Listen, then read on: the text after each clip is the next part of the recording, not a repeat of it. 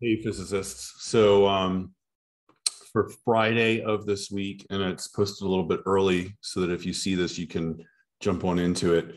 But um, in Unit 2, Motion and Vectors, there's a Gizmos, which is a virtual lab. Um, you might remember we did this with the distance and time graphs, displacement and time graphs, when we had the people outside that were running around so that we could start to gain some insight into um, the links between graphs and motion. And in this gizmo, you'll be looking specifically at the effects of gravity and the acceleration due to gravity. And so uh, you want to pull this up. It won't look exactly like this when you pull up Schoology, but there will be a link or some sort of uh, begin assignment or edit my document for you. Okay. Uh, you do want to go ahead and make sure you open the Freefall Laboratory in a new tab. And uh, when you are done working on the exploration sheets, when you are working on those, you'll actually be working on those kind of through like the Schoology portal.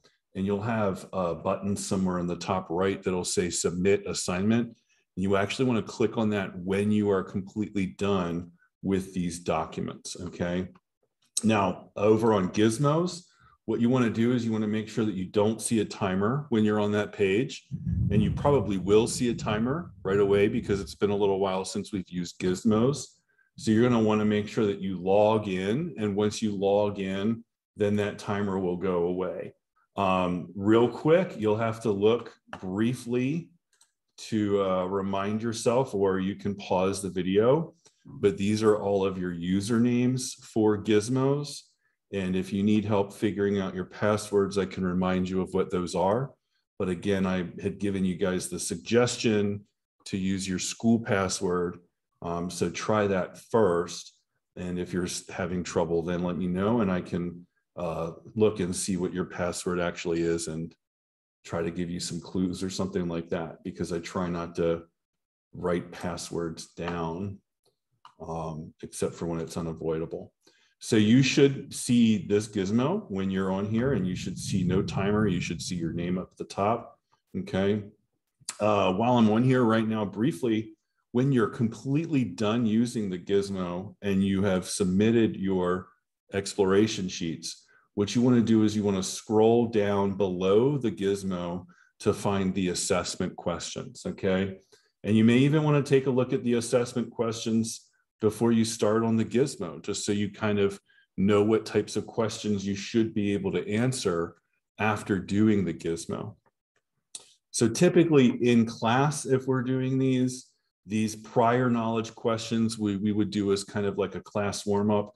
So I'm going to go ahead and kind of talk you through those now in the video.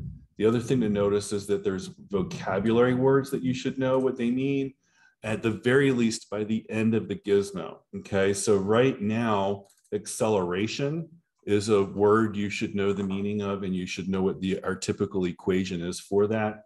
Velocity is a word you should know. And while we haven't discussed it in this class, I would think that you should know what a vacuum is at this point as well. Okay.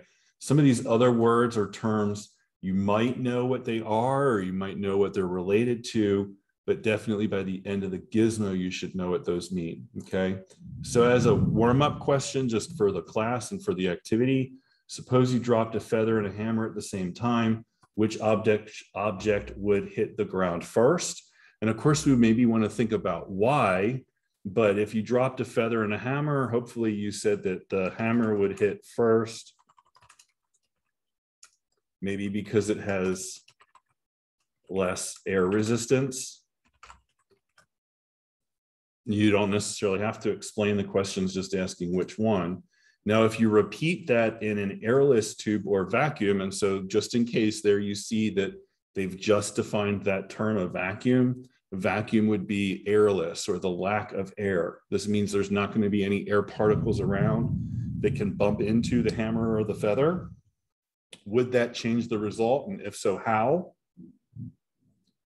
So if you kind of are thinking at as high of a level as you could be, and if you're thinking about the vacuum and the effect that has, then you might say that in a vacuum, there will be no air resistance.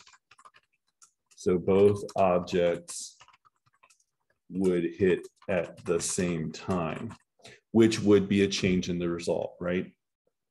Now, what I'm going to do is I'm going to delete those words because when you start on this, my words would probably be visible to you. And I want it to be empty so that you can fill it in with your own actual words.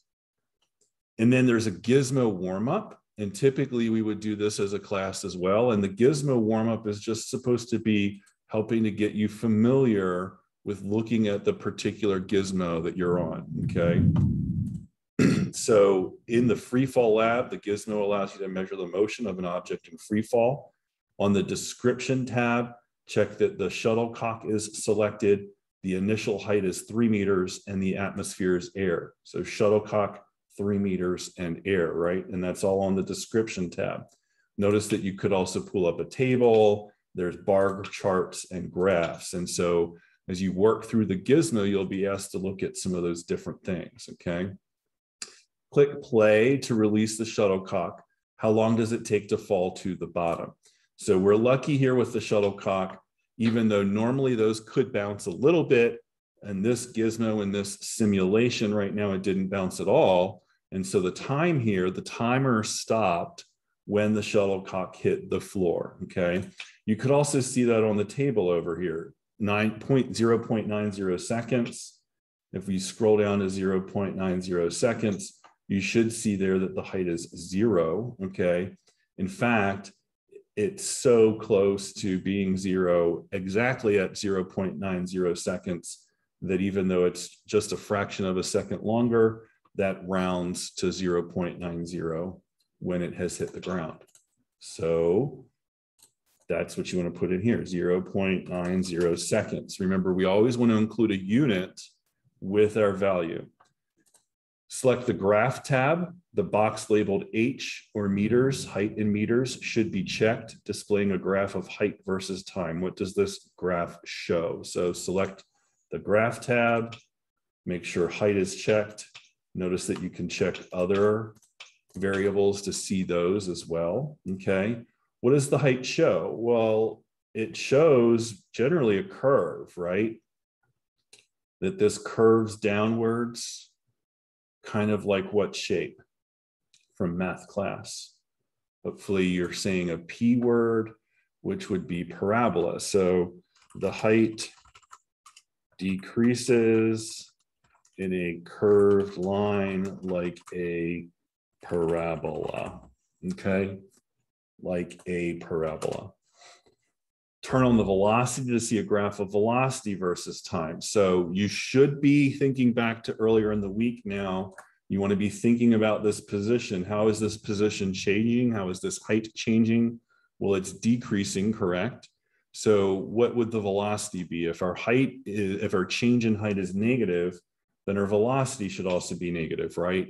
So the slope of this line is the velocity right? A slope of a position versus timeline is a velocity. And so all of these velocity values are negative, okay? So does the velocity stay constant as the object drops? Does the velocity stay constant? No, it's increasing in the negative direction, correct? The value itself is getting bigger even though the sign is negative. So does the velocity stay constant?